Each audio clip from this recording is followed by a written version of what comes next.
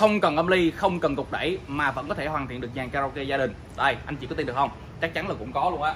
Đây, nếu như anh chị chưa thấy hoặc là mới thấy lần đầu, thì đây là cái dòng mixer đó, các bác cứ nghĩ là con mixer này là cứ nó là điều chỉnh âm thanh đồ các thứ này thôi ha cắm micro, hát karaoke này thôi. Nhưng mà riêng con mixer này nha, nó có liền công suất cho mình, nó có liền vang cho mình và nó có liền luôn hai cái mic cho mình. Có nghĩa là anh chị sử dụng một cái món hàng này á, là anh chị có thể là kết nối thẳng loa vào luôn. Cái nối thẳng loa vào luôn là anh chị đó có thể là hoàn thiện được dàn karaoke nhà mình rồi. À, cặp mic này là xài là xài pin sạc. Đó hát cái pin mình cứ việc sạc cho nó thôi. Và tiếng mic của nó ở trên đây nó có 16 hiệu ứng vang DSP bao gồm reverb eco delay và repeat. Ha đó có những cái hiệu ứng mà reverb nó cực kỳ là sâu luôn đó anh chị. Đây này em sẽ thử cho anh chị nghe thử tiếng mic của nó nè.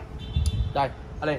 Một hai ba bốn năm sáu bảy tám chín mười một hai ba bốn năm sáu sáu bảy tám chín mười.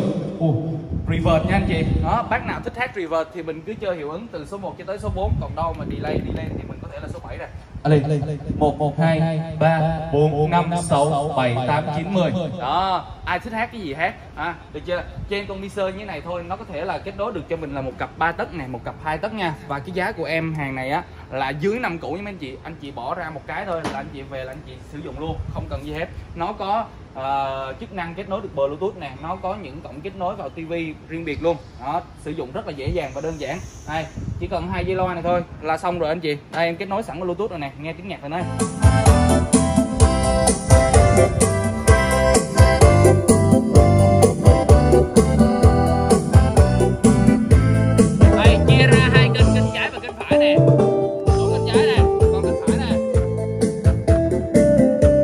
chưa? Ngoài ra thì nó còn có tần số equalizer có tới 5 band lận bắt trung chép. À, mình có thể tùy chỉnh chi tiết luôn ngay ở trên đây. À, được chưa anh chị anh chị nhìn coi cái dàn nó gọn không? Đi xa xa xa xíu nè.